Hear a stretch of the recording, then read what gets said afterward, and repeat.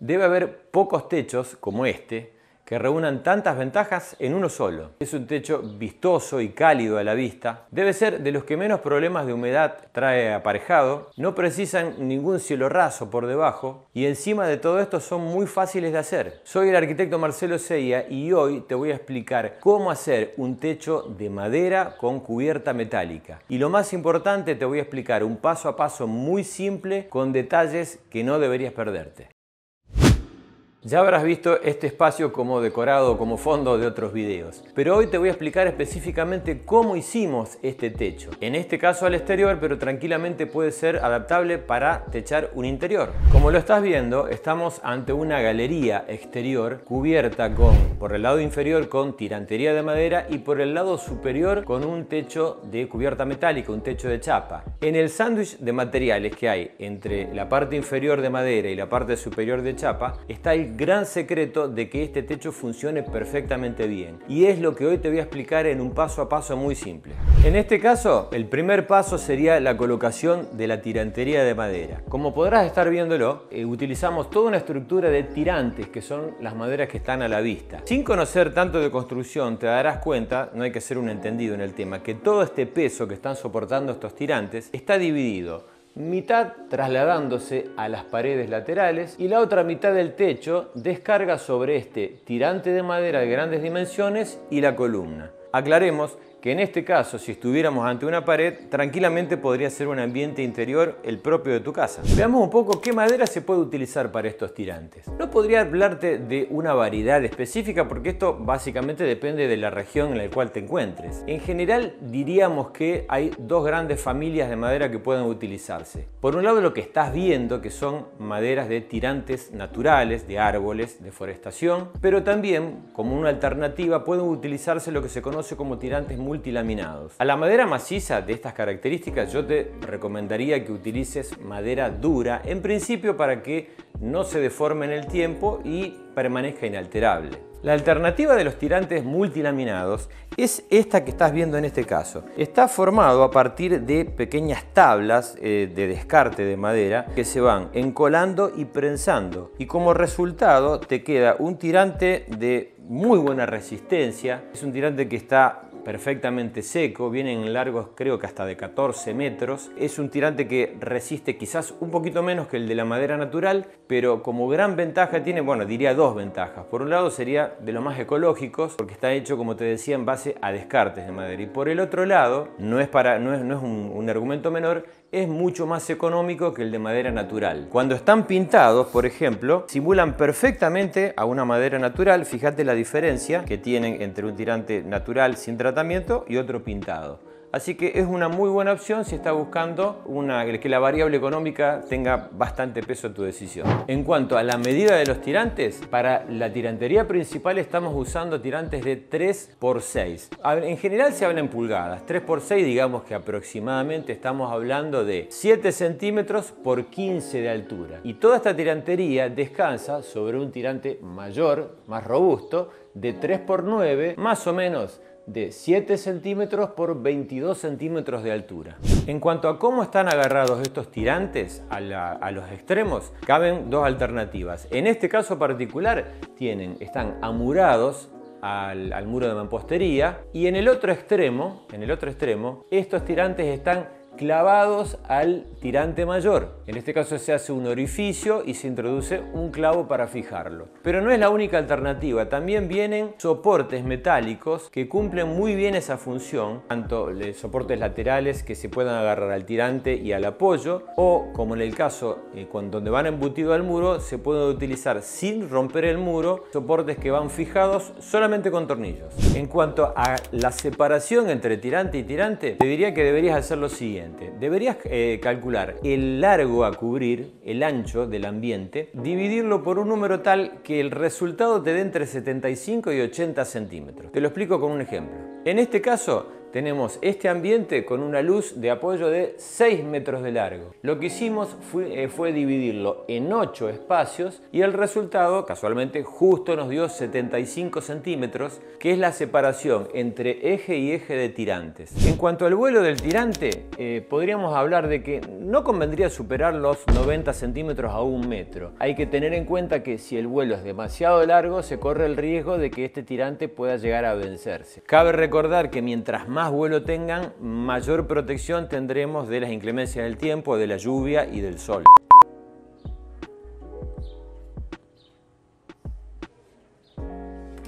El segundo paso sería el entablonado o machimbre de madera. Se trata básicamente de utilizar tablas de estas características como la que estás viendo, tablas que tienen un centímetro a dos centímetros de espesor y que tienen en un extremo una espiga, como lo que estás viendo, que se llama el macho, y una hendidura que se llama la hembra. Justamente por la forma de encastre que tienen, esto se conoce como machimbrado o machiembrado. Las tablas se van apoyando sobre los tirantes, vale la aclaración de que estos tirantes deben estar perfectamente alineados y se van encastrando. Y una vez que se van encastrando cada una, se va clavando directamente sobre el tirante. En este sentido te voy a hacer tres recomendaciones muy importantes. La primera de ellas, en el caso de que debas hacer una unión, porque debas hacer un corte de la tabla, siempre hay que tener en cuenta de que ésta se haga sobre el tirante, de tal forma de que esa unión no se vea por debajo. El segundo consejo, como te darás cuenta, estas, estas tablas tienen un biselado, un chaflán. Esto es conveniente siempre que quede hacia abajo y hacia arriba, sin ningún biselado, queda derecho. Lo importante es que ese biselado juega un papel estético en la terminación marcando cada una de las tablas. Tercer consejo, es muy importante que el entablonado empiece a colocarse desde la parte baja del techo y mi recomendación es que dejes una pequeña separación de no más de 2 centímetros. Este lugar es el que va a ser ocupado luego con una tabla de forma vertical que haría determinación de frente ocultando todo lo que hay entre la chapa y el entablonado. Paso número 3, colocación del primer listón escurridor. El listón escurridor con nombre raro, debe ser la pieza más humilde de todo este conjunto, pero eh, cumple un, un, papel fundamental. Por eso te digo que prestes mucha atención para ver dónde lo colocamos y por qué lo hacemos. Se trata de lo que estás viendo, un pequeño listón que no tiene más de un centímetro y medio de espesor por 4 de ancho, que se coloca directamente sobre el entablonado, pero siempre en coincidencia con los tirantes. Y por eso es conveniente que te tomes todo el trabajo del mundo en poder alinearlas perfectamente para que estos, estos listones queden directamente en coincidencia con esos tirantes inferiores. Un consejo, si se quiere, muy simple, pero que suma, es que si te tomas el trabajo de aplastar un poquito con un martillo en la punta del clavo, vas a correr menos riesgo que el clavo raje esta tabla que por su espesor tan delgado siempre termina eh, partiéndose. Probalo, realmente es muy efectivo. Lo que hay que hacer ahora es cubrir todo el techo de entablonado con los tirantes, con estos listones escurridores y a continuación es muy importante hacer la parte de instalación eléctrica, o sea, todo el tendido de cañerías y bocas que van a hacer a la iluminación. ¿Por qué hacerlo en esta etapa? Lo vas a entender en los futuros pasos. Con el, listón escurridor ya clavado sobre todo el entablonado, se procede a la colocación del manto térmico e hidrófugo. Nosotros usamos en este techo un manto de espuma de polietileno. Básicamente se trata de una, una, una espuma de aire encapsulado en polietileno, tiene 10 milímetros de espesor, que suele tener una cara aluminizada. Vienen algunos modelos que traen doble capa aluminizada y si tengo que recomendar algo especialmente es que busques aquellos que tienen aluminio propiamente dicho, no polietileno aluminizado. ¿Por qué? Porque el aluminio tiene mayor duración. Y en el caso de que tuviera solamente una cara aluminizada, es importante que ésta siempre quede mirando hacia arriba, porque este aislante no solo aísla por el espesor del manto de aire, de la espuma de polietileno, sino también por la, la, presencia de esta cara luminizada que lo que hace es irradiar la radiación calórica que le llega desde arriba. Aparte de esto, como te decía al principio, este manto aislante también es aislante hidráulico. ¿Qué quiere decir? Es básicamente un, eh, un plástico, es impermeable y esa espuma de polietileno lo que hace es cerrarse en torno al, al clavo de fijación logrando de esa forma una muy buena hermeticidad. Es de hacer notar que el primer manto siempre se arranca desde la parte baja del techo. En este caso son mantos que tienen un metro 10 de ancho y se solapan 10 centímetros. Y es importante también, muy importante, que este solape se haga siempre en sentido desde abajo hacia arriba, de tal forma que aseguremos que en el caso de haber una hipotética filtración, el agua pueda escurrir tranquilamente hacia la parte baja sin penetrar en el entablonado.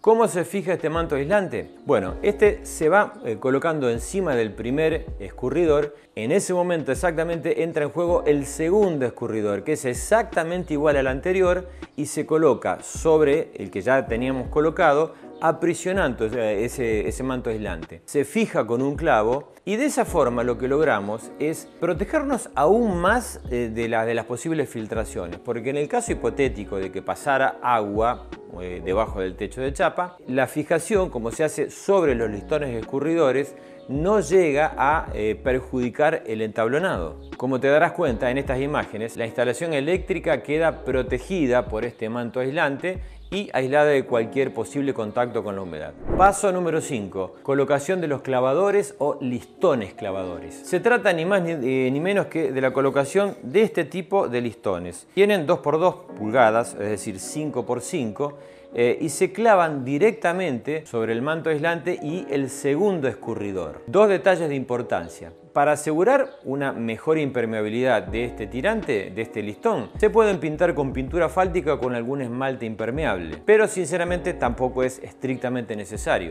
Para no desperdiciar madera, por ejemplo, se pueden empatillar o solapar eh, con restos de, otros listones para tener el mayor aprovechamiento posible y tener mucho menos desperdicio. La distancia entre estos clavadores es de aproximadamente entre 80 a 90 centímetros. Esa se considera una distancia bastante adecuada. Y se fijan al listón, al segundo eh, listón escurridor, mediante un clavo. Previamente se hace una perforación con un taladro como para, digamos, hacer más fácil la, penetración de este clavo y no correr el riesgo de que eh, rompa o raje el listón. Y aquí el gran secreto de por qué hasta ahora estuve llamando a estos listones listones escurridores. Como te darás cuenta, entre el, listón que se usa para clavar la chapa y el manto aislante hay una luz, hay un espacio libre. Justamente este espacio se llama escurridor, porque la idea es que eventualmente ante una filtración el agua pueda correr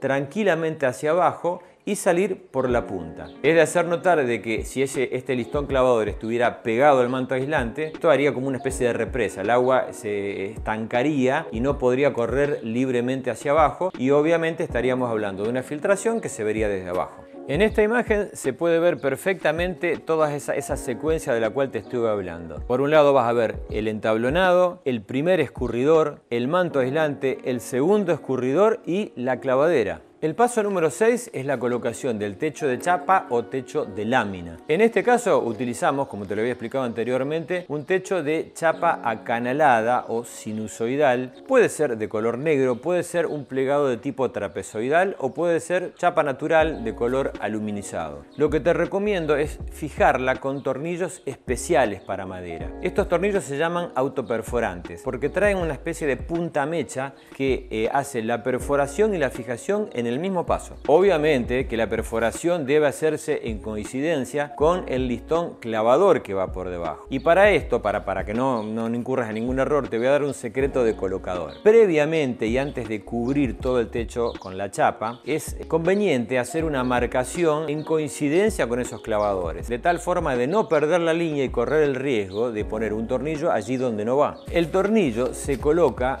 eh, sobre el taladro que tiene una pieza de fijación que permite tomar bien la cabeza del tornillo y en un solo paso se hace la perforación y la fijación al tirante inferior.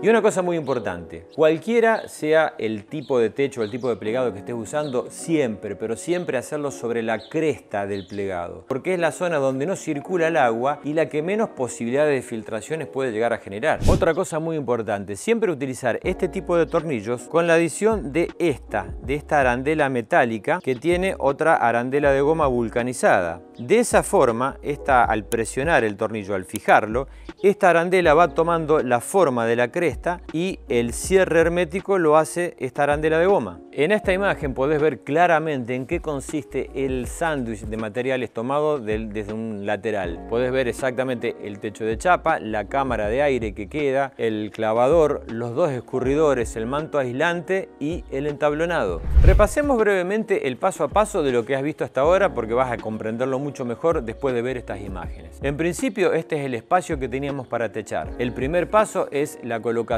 de la columna, columna doble en este caso de madera. El paso siguiente es la colocación del tirante que va a servir de apoyo para la parte baja. A continuación la estructura de los tirantes de madera que hacen de sostén. Sobre el mismo el entablonado que cubre todo el techo. A continuación la colocación del primer escurridor, luego el manto aislante, siguiente el segundo escurridor y sobre este perpendicularmente toda la estructura de los clavadores o clavaderas sobre la cual termina colocándose en definitiva el techo de chapa. El techo está terminado, pero el conjunto, para que funcione perfectamente bien, se completa con la colocación de lo que se llama cinguería. La cinguería, bueno, ya tenemos un video hecho aquí, te lo voy a dejar en este extremo, pero vamos a volver sobre esto, porque la cinguería eh, eh, cumple un papel fundamental en esto. Se trata básicamente de distintos plegados de chapa del mismo color que la cubierta, que cumplen varias funciones. Una de ellas, por ejemplo, es ocultar el encuentro de la pared con la cubierta metálica. En otro, caso, en otro caso es cubrir el encuentro entre varios faldones. Otra alternativa es cerrar lateralmente todo ese sándwich de materiales que veías anteriormente. Y por qué no, obviamente, la colocación de las canaletas o desagües que recogen el agua de lluvia y lo llevan hacia afuera. Puedo asegurarte que toda esta cuestión de la cinguería no solamente resuelve estéticamente la terminación del techo, sino que te asegura una hermeticidad que siempre digo yo que es la diferencia entre poder dormir y no dormir, sobre todo cuando se larga a llover. Habrás visto que son muchos detalles de, de utilidad y seguramente si se te dan más o menos bien las tareas manuales puede que te animes, aunque yo siempre recomiendo que consultes un especialista. Si te gustó este video te invito a que te suscribas al canal, sigas mirando este otro video y si no tenés más de 150 dentro del canal para entretenerte. Gracias como siempre, te mando un abrazo grande y nos vemos muy pronto.